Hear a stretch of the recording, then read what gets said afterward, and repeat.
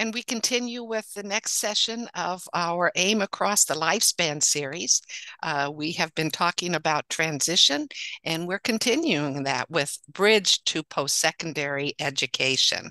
And so the recordings are going to be housed in the Accessible Educational Materials group on the Oregon Open Learning Hub, and we are putting a bevy of resources and recordings uh, as support for AEM. Uh, Chandra has posted that link as well, and the handouts for this and all sessions for today are available in a short shared Google Drive, and so Chandra will also share that. Uh, but we welcome Felicia and Rebecca and uh, we invite you to share more about yourself and about the passion and the topic that you're here to share with us. So please take it over. Do you want to go first, Rebecca? And then I'll Sure. Thank you. Thank you so much for having us. My name is Rebecca Arce. My pronouns are she, her, ella. I am an equity, inclusion, and accessibility specialist for the Higher Education Coordinating Commission. So I get the pleasure of not only meeting with students, but I also get to work with institutions, faculty, staff that support all of our students. Um, so Felicia and I, yes, we are related. We have the same last name, distantly related. We have the Arce nose. yep. And the chin. And, and we work in the same industry, industry or a field um, in the state of Oregon, which is also a really interesting connection. And um, when we keep reconnecting at certain events, it's just like, okay, we have to do something together. And I know that she brings a wealth of knowledge and passion to this, and this is what she gets to do every day. So I asked her to join us. Go ahead, Felicia. Yeah, my name is Felicia Arce. She, her pronouns. I'm the coordinate uh, disabilities coordinator for the Disability Resource Center at Clackamas Community College. Um, some background: I went to Oregon State, and I needed my materials converted, and this was back in like 2008 and so like there wasn't the apps and all that stuff so i got my textbooks converted but everything but in between i was doing that conversion myself. So i learned a lot about optical character recognition and shields and all that stuff. So um you know it was a real passion for me. And then i got the job at the university of wyoming um university or university for center for excellence in developmental disability doing aim. And so i would teach people about aim all over the state you know it just i breathed it for four years. So when Re- rebecca was like hey you want to do something with aim? And i was like yeah i love that. I lived that. Um, you know i feel like uh, accessible materials is really uh, the catalyst for a lot of students and people. Um, but yeah so that's kind of my story. Um Yeah. Oh, yeah. I, you know, I would tell people all the time, like, you know, everybody should have access to reading. You know, it's like being having access to water. So, um, yeah. Okay. So I'm gonna do the slides, and uh, Rebecca, do you want to have people ask questions as they have the question, or do we want to do after for questions? Yeah, if they want to pop it in the chat while we're going, that works too. More conversation. I'm sorry, Pat. Okay. All right. Do you let's see if we can get this. Oh, not this one. Can you guys see it? Yes. Perfect. All right. Go. Bridge to post-secondary education. And I didn't know that this was going to be saved forever and ever. So I would have polished this up a little bit more, but you know, this is what it is. So, all right. So an overview is the introduction uh, we already did that. What is this? What is the Disability Resource Center? What is an accommodation? High school versus college. A little bit of assistive technology, and then referring students to the DRC, how to contact us. And so today, I work at Clackamas Community College. Um, I can't speak to any other college but my own. Um, I would say the first step is to go on their website and then give them a call. Um, on reaching other community colleges or colleges on how the DRC is processed. Okay, so what is the Disability Resource Center at CCC? So the DRC is a resource that provides support to students with disabilities, faculty, and staff, both on campus and online. And we say that because it's really a dual partnership. You know, we serve students, but we also want faculty member faculty members to know why we are doing this. Um, why why do we need extra time? Why does a student need to be able to take a break during uh, their exam? And our primary goal is to work with our faculty to provide that equitable access to higher education for our students. And we do this for with accommodations, advocacy before with the student and the faculty, um, because also the faculty need the student to understand like, hey, here's the protocol for this class. This is the learning outcome that you need you need to demonstrate. We also do campus trainings on assistive technology. So the way it works is a student has a diagnosis and wants to seek accommodations with the DRC. They'll send the DRC uh, send the documentation to the uh, and meet with the DRC to demonstrate appropriate or to determine appropriate accommodations. Uh, students will request their accommodations every term. Uh, and then that's a, kind of a little bit of the difference between high school and college is it's up to the students to request their accommodations. We cannot request accommodations for them because we serve over 200 students. We have over 700 requests every term. So if a student would drop a class, we wouldn't be able to see that. So that's why it kind of needs to be on the it's on their plate to request their accommodations. They could always talk to us. They could come into our office. They could send us an email saying, "Hey, I need help with this," and we will help them. But um, that's the the part of advocacy that the student needs to learn. Instructors will receive the accommodation letter and clarify with either the student or the DRC if they have any questions, and the students will receive access, not an advantage in their classes. So thank you for that. When we touch on these, um, there are two important factors. So one, um, Felicia talked about um, learning outcomes, right? So uh, can you talk a little bit more about that advocacy piece where you're not doing modified classes.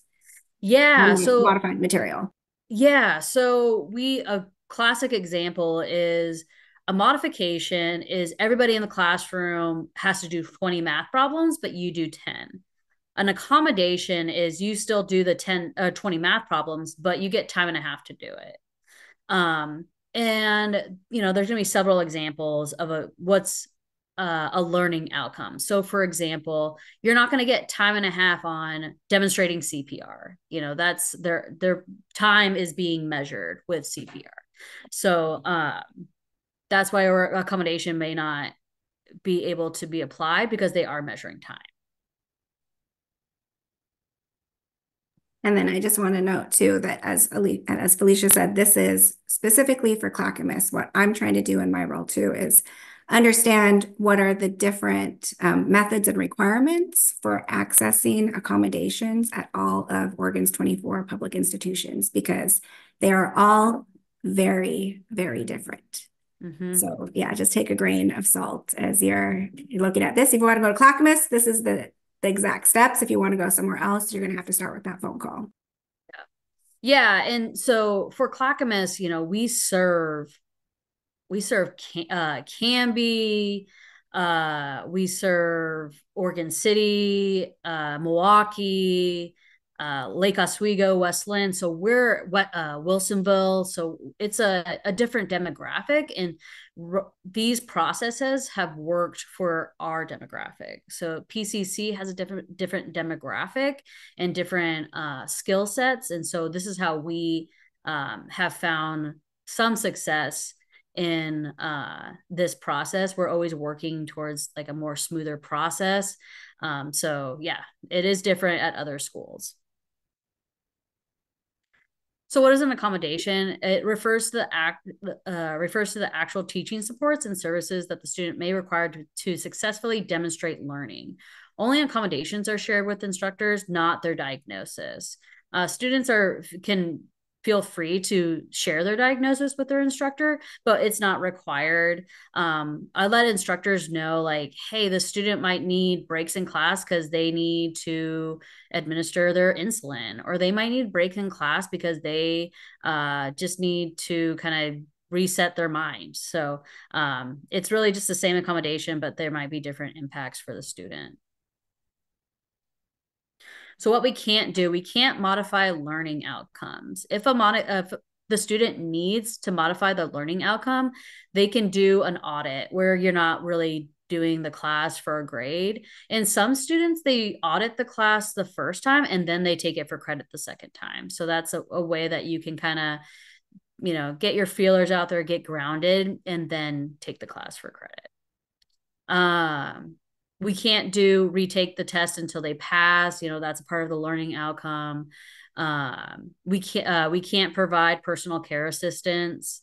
Uh, and then also flexibility and due dates, unless the student's diagnosis impacts their ability to attend class.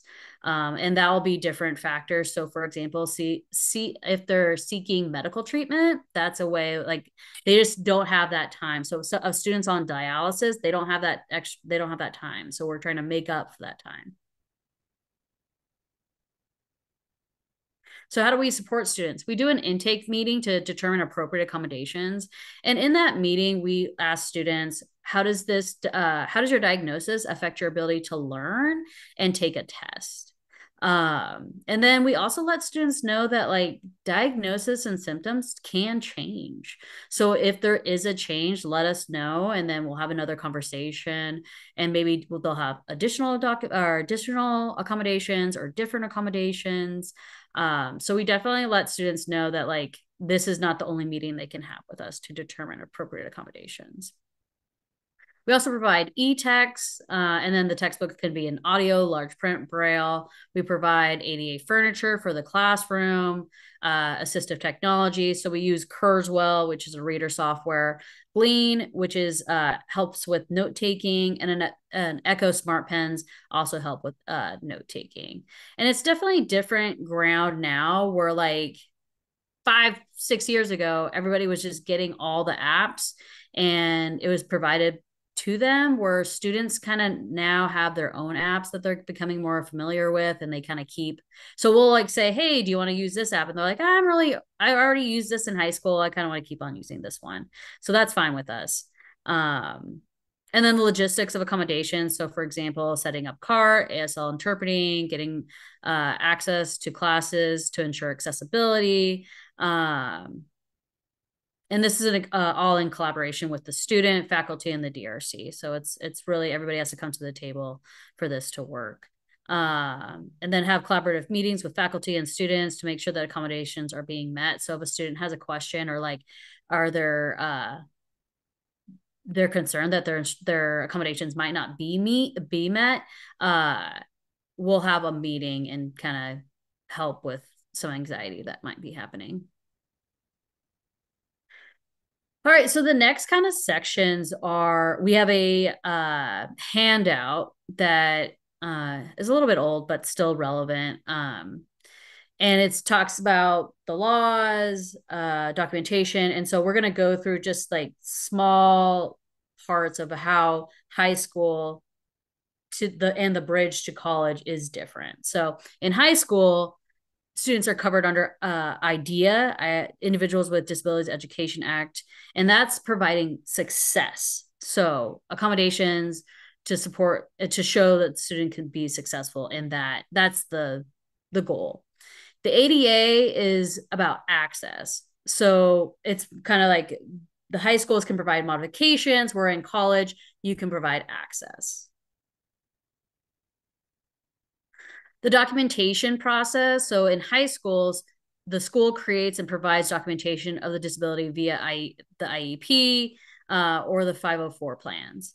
And then in college, the student is responsible for providing documentation of the disability.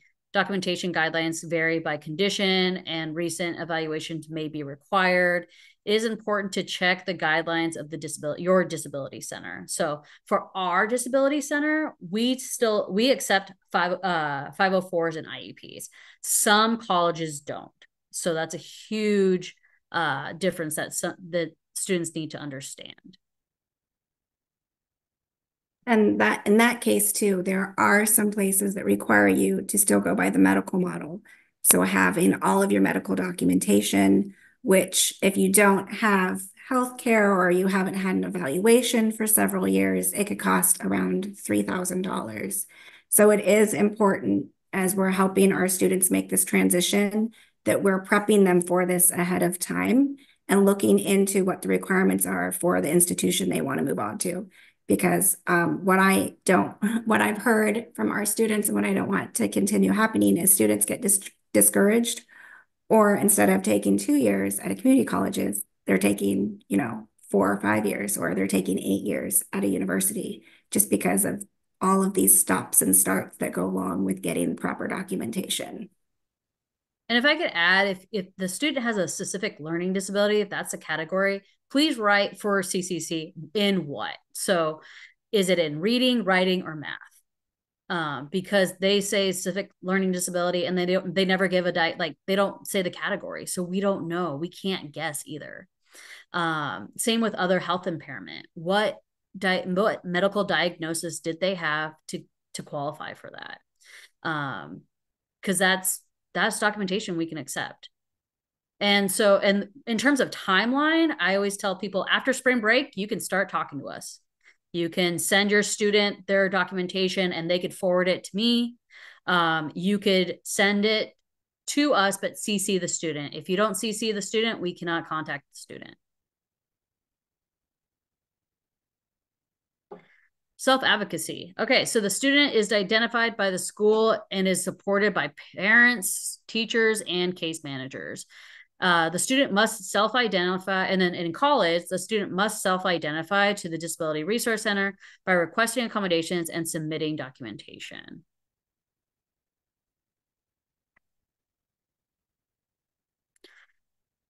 And then in high school, the primary responsibility for arranging accommodations belongs to the school. And then in college, the primary responsibility for self advocating belongs to the student, and the responsibility for arranging accommodations is shared between the student and the DRC.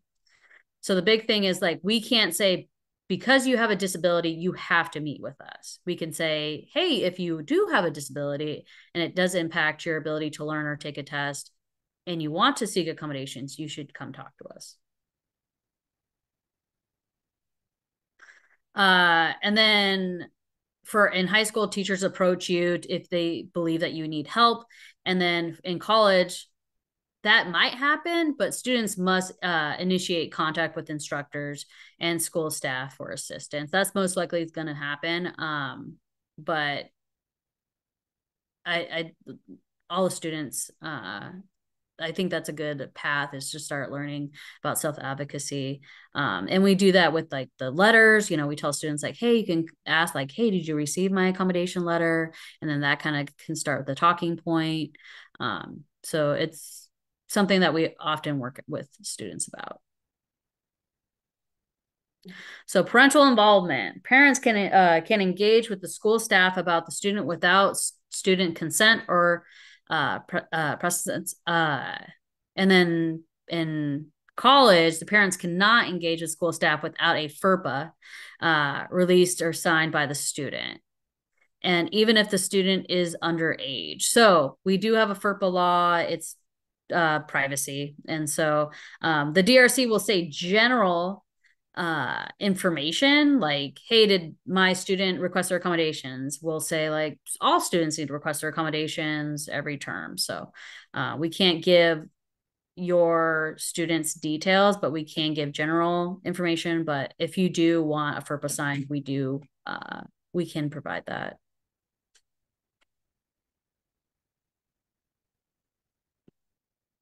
All right, instruction. So for in high school, teachers can modify curriculum and or alter pace of assignments.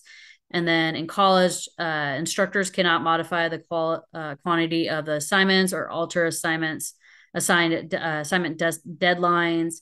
Uh, and then, you know, except- exceptions can happen. So, for example, um, if a student's seeking medical treatment or they have a diagnosis that it's uh, you know unsafe and it's just they're unable to complete the assignments. Um, there is exceptions to that. We have it's called flexible attendance and flexible homework uh, accommodation. And then if the student completes 70% of the class they can ask the instructor for uh, incomplete. And then that will give the student extra time to uh, complete the assignments to get a grade for that class and just a note in the chat, Deb is saying to make contact early in the year. I've seen students go to their instructor at the end of the year and say they should have been receiving support. It isn't effective in hindsight. Correct. Yeah. And so we so we do say we can't be retroactive. So we do let students know um, that you know once you have your accommodations, you can move forward, but we can't move back. So if they failed their midterm, uh, we can't you can't retake it. We can't say, oh, the accommodations should have been there. Um, we do have, you know, and please don't. Sh- I mean, you everybody can show up at any time, but the more you plan, the more time you'll have and if there's a mistake or you need to catch up on something then that gives you more room um, but fall term we were three weeks out we were having students like i would say to students like hey if my three o'clock show up at three o'clock and if my three o'clock shows up then i can i if they don't show up i can see you but if they do then i can't see you. Um because it was about a three week wait. So it's we're a busy we're a busy uh department. Uh, so for tutoring and studying support, maybe uh, maybe a service provided by the IEP 504 plan or in the support room. And then tutoring does not fall under the disability resource or the disability services, but is available free to all CCC students. So there, it's not connected with us. How are we doing on time? We are fantastic. We're, we're great, man. Yeah, exactly. Oh, okay. fantastic. Okay. So uh assistive technology. I mean, I'm talking to the pros here. Uh, so the Echo Smart Pen. I mean, this is it's dated, but like sometimes you really just don't need to fix the wheel. Some people still will they'll still need the writing. Um, I encourage this for like students that are in like the medical programs so then they can print um, on the paper. So then take notes with uh, the slides on them. So I, I, I like Echo Smart Pens. Glean is a really nice note taking software where you can record and then it kind of timestamps and then you can upload the PowerPoint and just kind of have a more interactive note taking support. Question, Felicia. If you go yeah. back to the Echo Smart Pen. Yeah. Can you have examples of when that works best for a student? Yeah. So, um, so if a student is not a strong writer, so for example, instead of writing, if them getting, uh, having trouble, you know, oh, did I write this one word right? They're just going to be able to record it and then write quick notes so then they can come back. Other ways that it's it has been used is um they print their PowerPoints on it. And so then they can press record. And then when the instructor writes uh, on the board, they can write on the PowerPoint on their paper. So, like, it can sync what happened in class and on the PowerPoint. Um, what are good? I mean, I, I, students use them for flashcards. I think that that's a really good way to use them. So if you're providing the accommodation at your institution level, is this something that the the cost of this technology would be covered by the institution and not be on the student, correct? We have, I would say 50 smart pens. We run out of 50 smart pens every term. So get them while if you if you want to use them, get them. We also have, uh, so the students can't use both technologies. So we have the Echo Smart Pen for taking notes, and then we have Glean. So the students have to choose one or the other. Um, some students like the pen, some students like the uh, Glean. Um, it just varies. And like sometimes students have uh, better penmanship and they want to take notes but still record.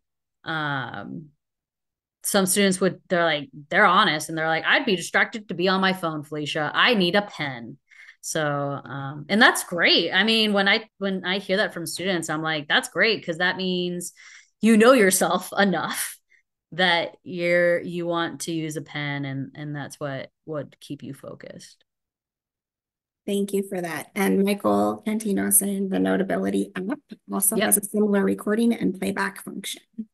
Yeah, so notability is kind of the student. A lot of high school students are using it, and then from high school, they'll just say like, "Oh no, I have my notability." That's and that's another thing that we try to cross. Uh, the bridge that we try to cross at CCC is we're preparing students to uh, transfer to a university or a college.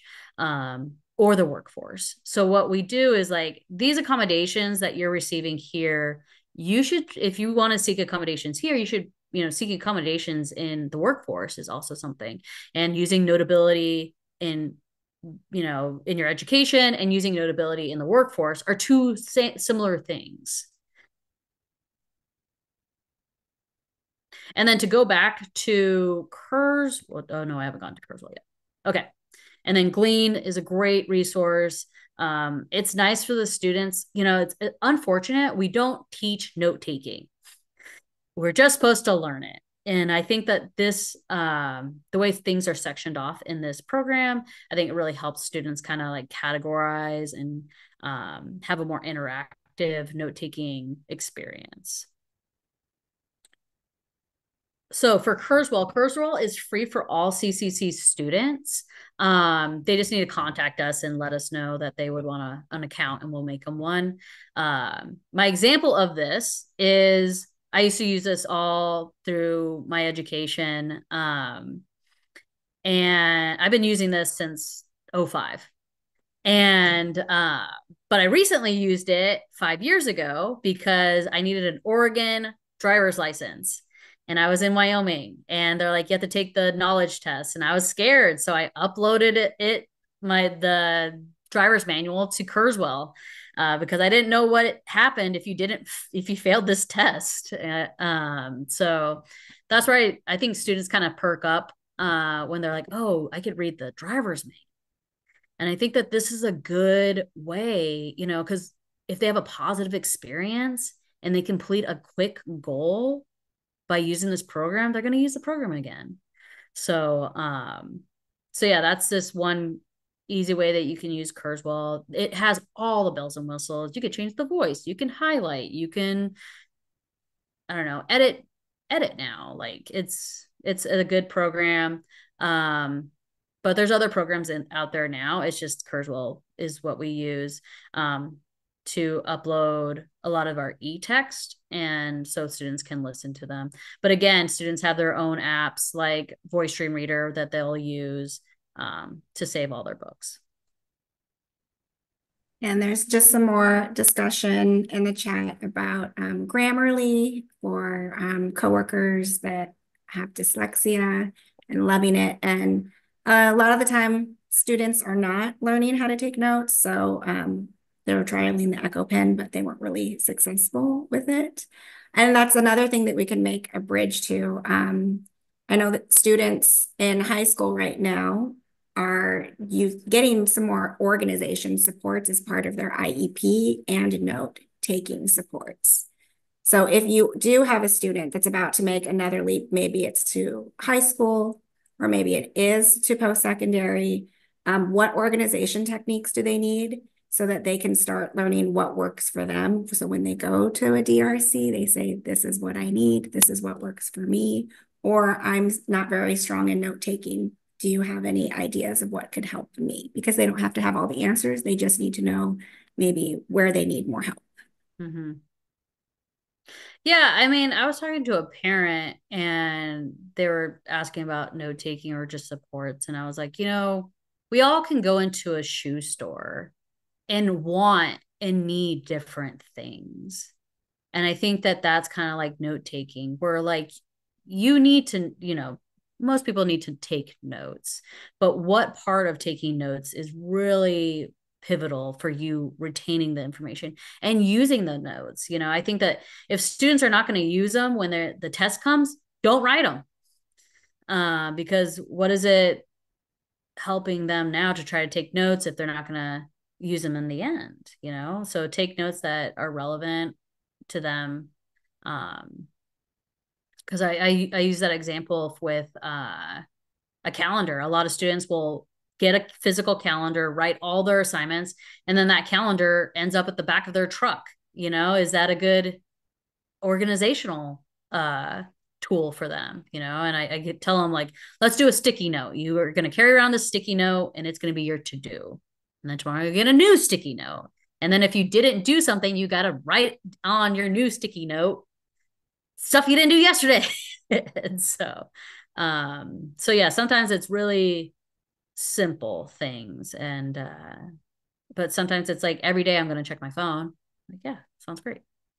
Uh, so to refer students, you know, we we this is a part of a CCC presentation where we say put it in your syllabus, um, but you could also put, you know, accessing a DRC website as like a goal. You know, research. What are the you know, how does it the first steps work at Chemeketa? How does the first step works at PCC or uh, Oregon State stuff like that?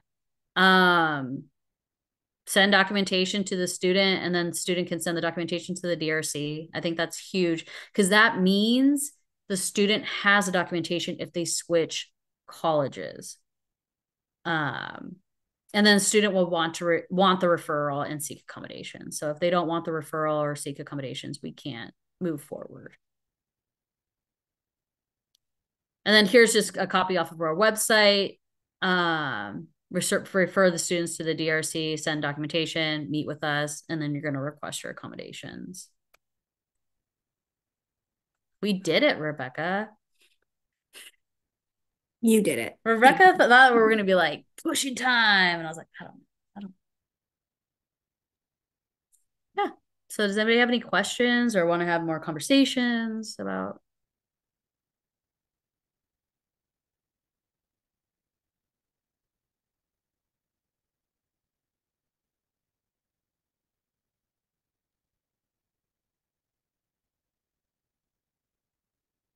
One of the things you kind of referred to that um, that I'd love to hear a little bit more about is, um, like you mentioned, your your college provides Kurzweil. What if a kid, a a student, comes to you and says, "Well, I only know how to use read and write."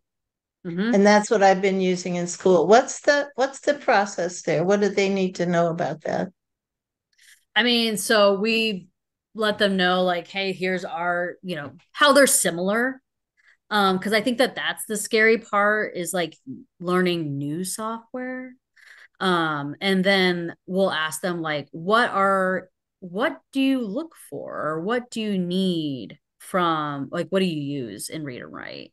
Um because then we get into the kind of like brands and because uh I mean, that's I think that's a statistic is like people with disabilities are very brand loyal.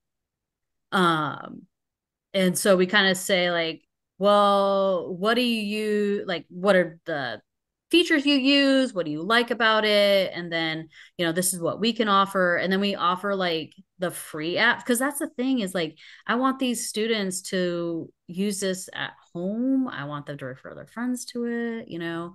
Um because there's other apps out there and like once we cross that bridge of like oh what do i really need? What features do i need? Um because i love read and write. Read and write's great but like we can't afford read and write so if somebody, if that was really working for them at high school, I mean, it, it probably should be part of their accommodation or their transition plan to think of how to get that tool um, if it's not the tool that is being provided at the college that they're going to. And I, I, I hear you say that, okay, the features and similar, but we do know that there are people who, this is my right arm, you can't take that away. And so what do you do? I think it helps us in planning and transition to help them find a way to get it if that's the tool mm-hmm. um, that works for them. Just a thought.